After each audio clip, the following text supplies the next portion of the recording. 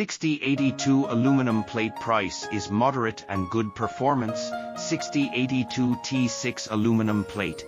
Standing spot thickness 1 to 220 millimeters, thickness greater than 6 millimeters support zero cutting, factory, factory genuine, traceability quality inspection. 6082 aluminum alloy is similar to 6061 but trace elements are slightly higher than 6061, high strength, T6 reference strength 96 HB, good mechanical properties, good weldability, corrosion resistance, good anodic oxidation effect. 6082 aluminum plate is widely used in Europe, the Middle East and the United States, often used in electronic equipment, mechanical parts, forgings, commercial vehicles, railway structural parts, etc. Price is slightly higher than 6061.